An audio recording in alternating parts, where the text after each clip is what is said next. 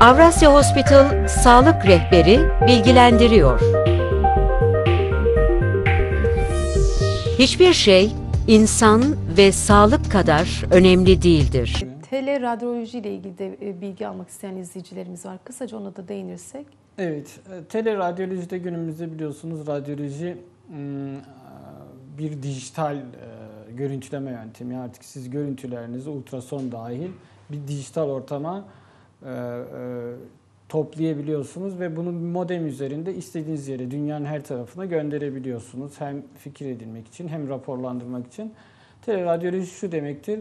Bir yerde bir görüntü çekiliyor. O modem üzerinden ulaşabiliyorsunuz oraya. O görüntüyü uzaktan e, raporlayıp e, bir ses paketi şeklinde e, gerekli yere gönderip e, yazılarak rapor haline dönüştürülebiliyor. Evet.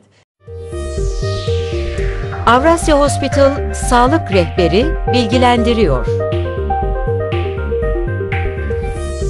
Hiçbir şey insan ve sağlık kadar önemli değildir.